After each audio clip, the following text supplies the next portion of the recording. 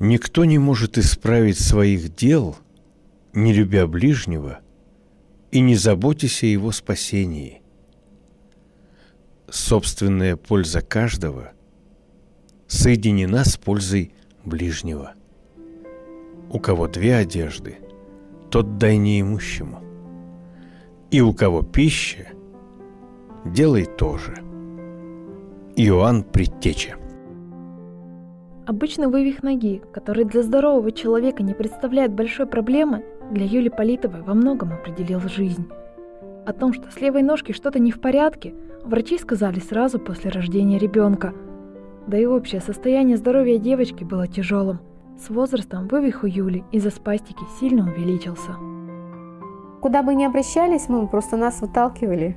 Выталкивали просто из кабинета. Что вы хотите с таким ребенком, вот от такого ребенка, что вы хотите? Что мы вот будем с вами делать, вот так вот. И вот пока я говорю, вот мы не попали в Питер, они нас там взяли. Не видно же, ребенок маленький, насколько там вот это были вот эти проблемы. Хотя и вывих не прогрессировал так. Он же маленькая была, там же еще такого не было. Мы, мы вставали на ноги, мы ходили. Скажем, я ее держала, она сама ходила. А когда стал вывих прогрессировать, она просто отказалась вставать на ноги. Все, ей не надо. Она боится, нога болит. На протяжении 11 лет Юля, если не лежала в кровати, то сидела в коляске, обложенная подушками. Вставать на ножки, сидеть самостоятельно, брать что-то в руки и даже говорить не удавалось. Любое движение доставляло девочке сильнейшую боль. Предпринять хоть какие-то меры для улучшения состояния здоровья девочки мешала эпилепсия – она является противопоказанием для любой реабилитации таких детей. Летом 2009 года в институте имени Турнера врачи все же решились исправить девочке вывих. После операции у ребенка появилась контрактура в колене. Обычно в таких случаях делают операции по удалению контрактур, но Ирина с дочкой смогли избавиться от нее без вмешательства хирургов с помощью лечебной физкультуры. Четыре месяца мы были в гипсе. Но начались с того, что мы делали укладки Потом мы начали колено разгибать. Это очень тяжело, потому что сустав начали разрабатывать его. И вот мы два года разрабатывали и сустав, и сустав, и коленный сустав. Но мы все-таки разогнули и колено, и разработали сустав. Когда контрактуру удалось устранить, стало понятно. Даже без вывиха вставать на левую ножку девочка не сможет. На протяжении 11 лет ребенок не вставал – поэтому сил в мышцах ног попросту нет. Нужно их накачивать. Только в таком случае Юля сможет стоять и ходить. Реабилитация занимает буквально все время Ирины и ее дочки, с перерывами разве что на сон и прием пищи. Мы проходим магнитотерапию, массаж, потом грязи мы в этом году сделали, нам разрешили на ноги. Пока сказали на ноги. Потом у нас бассейн, это у нас зимой бассейн, летом не ходим, а в бассейн-то ходим зимой.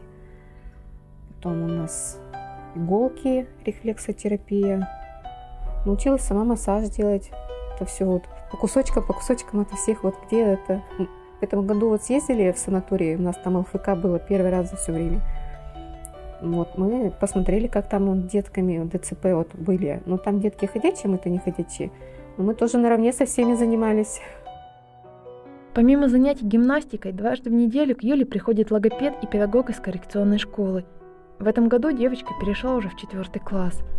Чтобы научиться выполнять даже какое-то простое движение, Юленьке требуется множество часов регулярных занятий, а каждое новое достижение вызывает огромную радость. Опору на руки. Она научилась делать, она уже делает и улыбается, стоит на ногах, как сказать, с поддержкой, но нравится ей. Она пытается, пытается, ну, конечно, настолько, насколько она может, она, но она пытается, она старается. Конечно, еще это далеко, но мы будем работать. После операции у Юли произошло укорочение левой ноги на 5 сантиметров. В будущем врачи надеются это исправить. Впереди у девочки еще две непростых операции.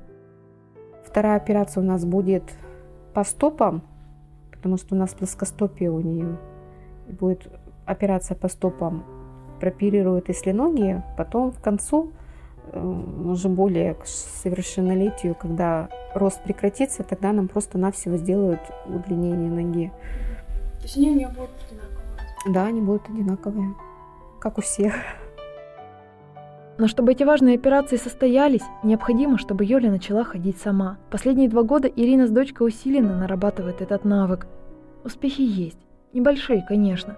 Но самое главное, что они все же есть.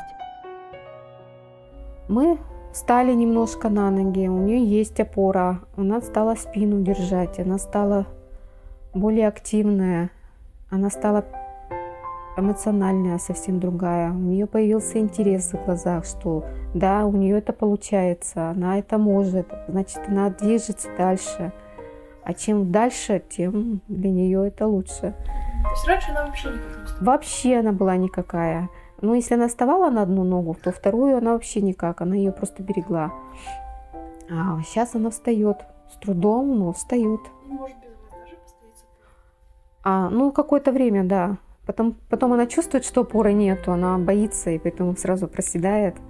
Пока мы не научились еще ложку держать, потому что она ее удерживает, ну, пока доносит до рта, спастика мешает. Вот это вот. Но держит ложку уже потихоньку. Это тоже большой прогресс. Научились стоять хотя бы немножко, но научились стоять. Мы научились немножко, хоть немножко, но с поддержкой, потому что мы раньше вообще никак не сидели. А сейчас мы с поддержкой, хоть два пальца держишь, она чувствует опору. Вот. Она сидит хоть какое-то время. Сейчас у нас более такие вот занятия нам расписание сделали по занятиям еще. Какие занятия сейчас нам нужны более такие вот, чтобы научиться полностью са- самим сесть, стоять. Вот. Будем сейчас тренироваться, заниматься. Есть у Юли проблемы и с ручками. С началом активной реабилитации девочка все же начала понемногу удерживать предметы в руках. Тому же у нее расширяется и кругозор. Мама замечает, что дочка уже по-другому реагирует на все, что происходит вокруг. Она была вообще никакая. Сейчас она стала реагировать, она стала улыбаться, она стала потихоньку интересоваться игрушками. Она смотрит телевизор. Мы потихоньку стали брать в руки игрушки. Ну, не сама вкладываешь ей, она вот может немного держать этот захват. Ну, с преподавателем они занимаются, они рисовать начали, они лепить начали м, из пластилина. У нее стал больше кругозор, она стала за всеми наблюдать, она кидается, вот куда я ухожу, она смотрит, куда я пошла. Потому что раньше этого не было. Она вот просто сидит на одном месте тупо, вот, допустим, смотрит в потолок. А сейчас она за всеми вот реагирует.